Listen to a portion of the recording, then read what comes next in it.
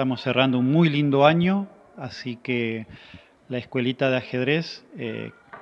que depende del municipio, está proponiendo una actividad especial de cierre, con una invitación abierta a la comunidad también, donde familiares de los chicos, eh, aficionados al ajedrez, adultos,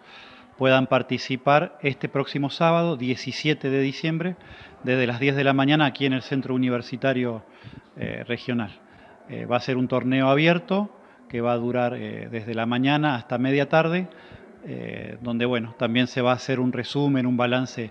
de lo actuado por los chicos, va a haber algunas menciones especiales y se va a informar a la comunidad de los planes o los objetivos también para el próximo año. Esa es la intención, que nuestros chicos, todos los que han cursado, puedan también tener oportunidad de compartir lo aprendido con cualquier persona que quiera acercarse,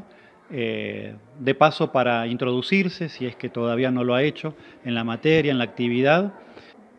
No hay eh, ninguna condición económica, la participación es libre y gratuita. Lo que sí necesitaríamos eh, pasar por una instancia de inscripción por el espacio físico para poder prever la cantidad de tableros y relojes de ajedrez. Pero salvado ese asunto de la inscripción, bueno, cualquier persona que quiera puede acercarse este sábado, como digo, en el horario mencionado. Hasta el viernes mismo tenemos eh, tanto el profesor Néstor Rivas, que es uno de los organizadores y referentes de la actividad, como en mi caso, la posibilidad de hacerlo por teléfono al número 2622 465217 o 2622 377485. Se puede enviar un mensaje o un llamado